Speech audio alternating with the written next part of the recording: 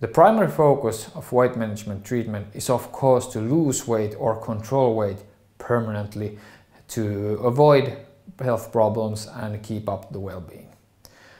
But for the practitioner to do this, they certainly have to know their patients, well. So they need to take time to know about the patient's history and weight history and the factors affecting it.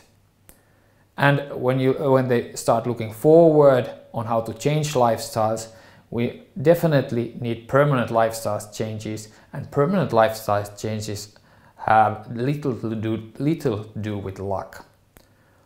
Too often what happens is that we try to lose weight with some means and after losing weight kind of a hoping that it stays. But permanent lifestyle changes are not a question of luck.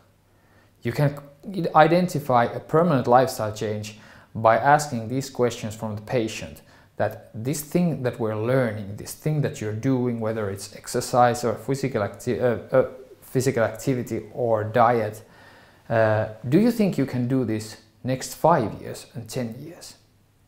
And if the answer is yes, I think I could do this five or 10 years, then maybe you're doing the permanent lifestyle change. But if the patient says something along the lines that, oh, five years, 10 years, five years without candies, 10 years exercising every day, that's gonna be tough and hard. Then maybe that is too tough and hard. And you kind of have to low, uh, take a uh, more realistic approach that what is the change that this patient can hold on on 5 and 10 years.